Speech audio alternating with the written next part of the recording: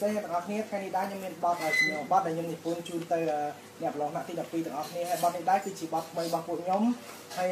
ចូលរួមស្ដាប់ទាំងអស់គ្នាហើយខ្ញុំជូនពរឲ្យថ្នាក់ទី12ជាប់ទាំងអស់គ្នាតោះអូខេដ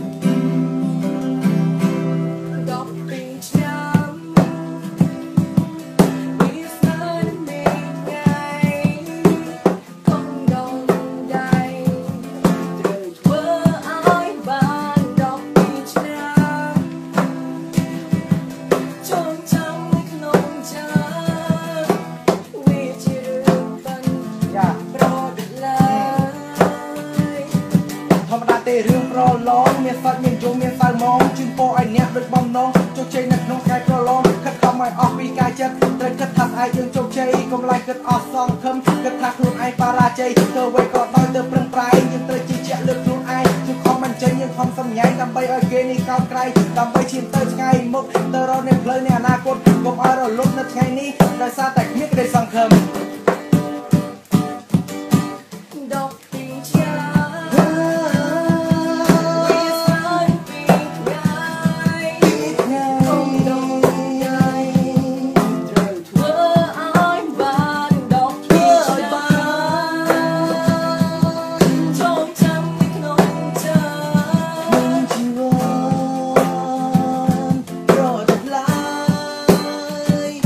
12ឆ្នាំ